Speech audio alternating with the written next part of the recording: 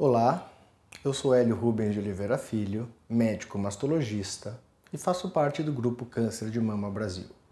E hoje eu vou falar para vocês sobre carcinoma ductal invasivo.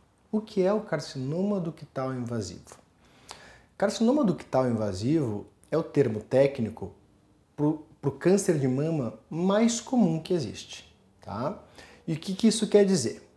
É um tumor que se prolifera nas células epiteliais que existem dentro dos ductos, por isso ductal. E por que invasivo?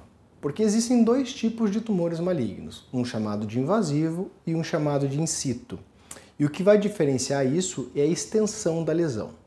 Se a lesão está confinada dentro do ducto, não rompeu o ducto e não saiu para fora do ducto, é chamada de uma lesão in situ. E se porventura esse tumor que está dentro do ducto, nas células epiteliais do ducto, cresceu e rompeu esse ducto, ele se torna invasivo.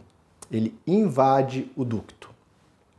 A partir desse momento, quando ele invade ou rompe o ducto, essas células têm a capacidade de poder ser absorvidas ou migrarem para os vasos sanguíneos e para os vasos linfáticos, que é quando elas podem sair da mama e migrar para outros lugares do nosso organismo, como linfonodos axilares, ossos, pulmão, fígado, sistema nervoso e assim por diante.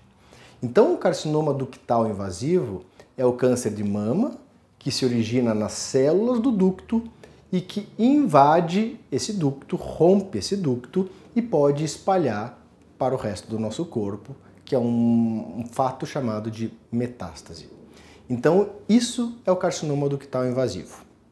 É o câncer mais prevalente, estima-se que mais ou menos 70% dos casos de câncer de mama invasivo sejam do tipo ductal, e a gente vai avaliar se ele é um, uma doença mais avançada ou mais inicial, baseado basicamente no tamanho da lesão, como estão os linfonodos e algumas características biológicas, denominadas grau histológico, índice de proliferação, presença ou ausência de receptores hormonais, presença de uma proteína de membrana chamada de HER2.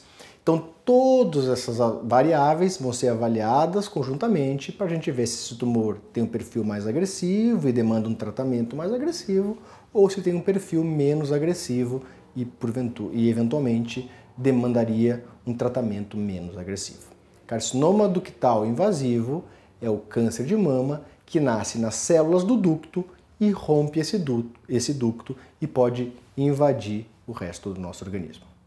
Muito obrigado.